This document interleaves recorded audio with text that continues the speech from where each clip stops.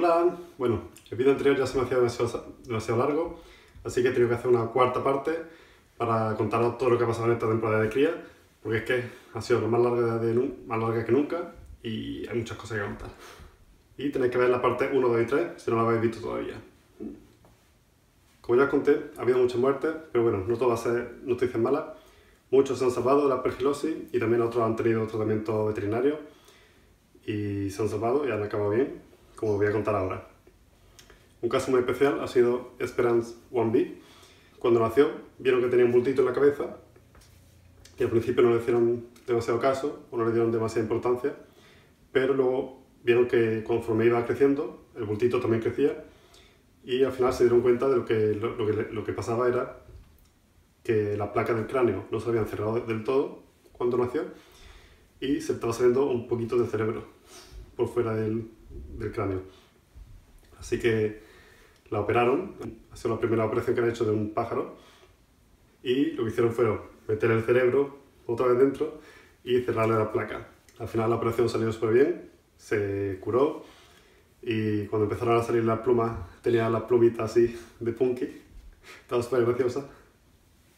Otro caso fue Queenie 3A, que a los dos días de nacer su madre la pisó, entonces se rompió la pata, la operaron, se curó, la volvieron a meter en el nido y a los pocos días, cuando iba creciendo, se dieron cuenta que, que no podía sujetarse bien, entonces la tuvieron que operar otra vez para enderezarle la pata, para evitar que en el futuro tuviera más problemas.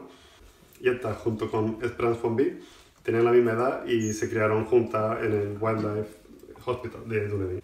Hacen esto de cuidarlas juntas para que no cojan impronta de los humanos.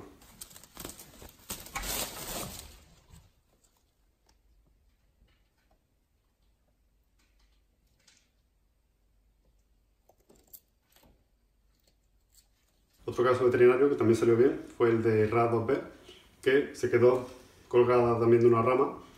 Eh, por suerte la encontraron a tiempo y pudieron rescatarla. Lo que pasa es que la pata perdió circulación, al final la estuvieron tratando con láser, lo que hizo que durante esos momentos fuera el cacapó más cool del momento con esa caza. Y bueno, al final han conseguido salvarle la vida, pero tuvieron que amputarle los cuatro dedos de esa pata. Así que, bueno, por ahora está bien, pero está un poco dudoso de cómo se va a desenvolver en el futuro, ya que al no poder volar, eh, los cacapós necesitan las patas para poder trepar a los árboles. Y sin cuatro dedos en una pata, no saben cómo, cómo se va a desenvolver. También sabemos ya los resultados de las pruebas de paternidad, y han salido varias cosas curiosas. Ha habido la primera paternidad mixta en una unidad.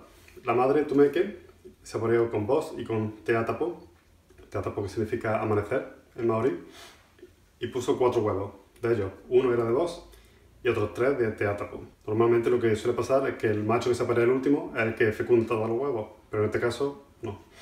También este año ha habido dos casanovas que donde han puesto el ojo han puesto la semillita, que luego YouTube me censura los vídeos.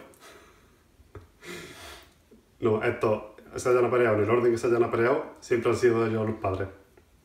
Y ha sido tu toco y te kingi. Te toco y te freñi.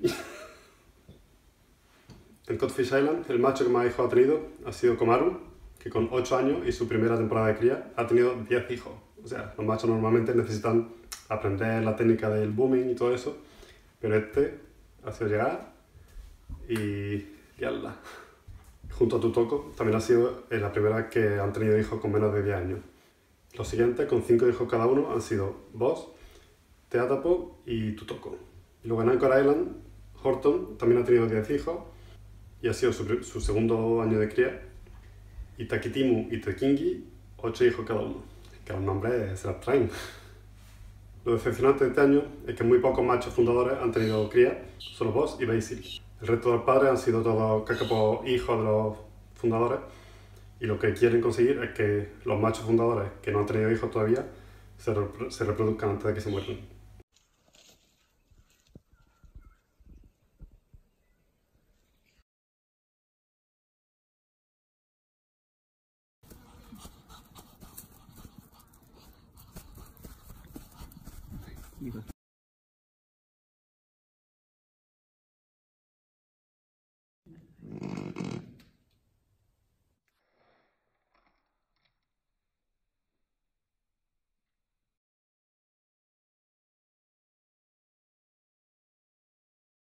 Una buena noticia es que todos los cacapós provenientes de Fjordland han conseguido tener hijos.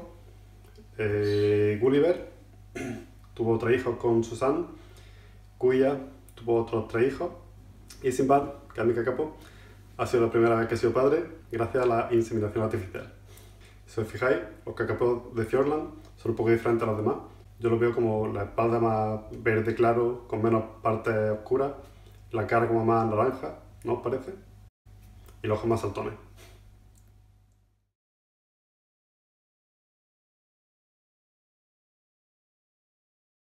Aparte de esta diferencia que se ven, eh, sus genes son un poco diferentes de los demás, entonces es muy importante que estos se reproduzcan.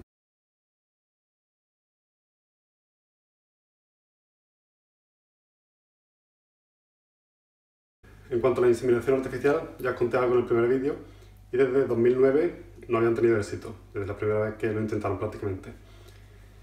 Y este año se han traído unos expertos desde Alemania, han estado probando diferentes formas de diluir el semen, diferentes formas de sujetar a la hembra. Antes la sujetaban boca abajo y se lo inseminaban así, desde arriba. Ahora la ponen así, de espalda, y se han dado cuenta que llevaban 10 años eh, metiéndoselo eh, por el agujero equivocado se estaba metiendo por, por la uretra en vez de por el oviducto. Así que por fin se han dado cuenta. Entonces, de 15 hembras que probaron, han tenido éxito en 3. Lo que pasa es que algunos huevos se murieron a los pocos días de, de embrión, algunos otros pollitos se murieron al poco de nacer, sobrevivieron dos, uno que era hijo de Stampy, que era un macho fundador, con Margaret Marais, pero este se murió de aspergilosis. Y al final el único que ha sobrevivido ha sido el hijo de Sinbad, con Nora, que también ha tenido aspergilosis, pero al final se ha salvado. En total, resumiendo el todo, los números de esta temporada de cría han sido, empezaron con 147 adultos, pusieron 252 huevos, nacieron 86 pollitos, 73 pollitos llegaron a cumplir 150 días, es decir, llegaron a la juventud, llegaron a tener un máximo de 213 cacapós vivos. Hoy por hoy quedan 211 vivos, de los cuales 141 adultos y 70 jóvenes. Este número de 211 ya en los próximos años solo va a bajar hasta que nos vuelva a ver una temporada de cría, que puede ser dentro de 2, 3 o 4 años. Que entonces ya volverá a subir el número, pero por ahora ya 211 será el máximo que lleguemos hasta los próximos años. Mientras esperamos eso, os recuerdo que podéis ayudar a los cacapó apadrinando uno de forma simbólica. Os mandan un, peluche de cacapó, como yo tengo, de Simpático Waikawa, un certificado de adopción con el cacapó que elige, marca página con la historia de ese cacapó y pegatina de yo apoyo a la conservación del cacapó. Así que hasta aquí los vídeos del cacapó. Ya no vais a escuchar más de los cacapó en un tiempo de mí. Y hasta aquí ya hemos llegado. Muchas gracias por ver los vídeos y tenéis las cuatro partes. 1, 2, 3 y 4 partes de la cría de cacapó en mi canal. Así que sin más yo, os decimos adiós. Hasta la próxima.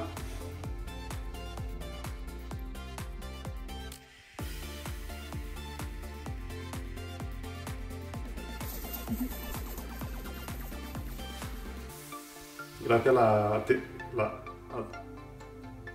aparte de los que se han salvado de la aspergilosis, joder, si que las palabras, tu toco y te tingui.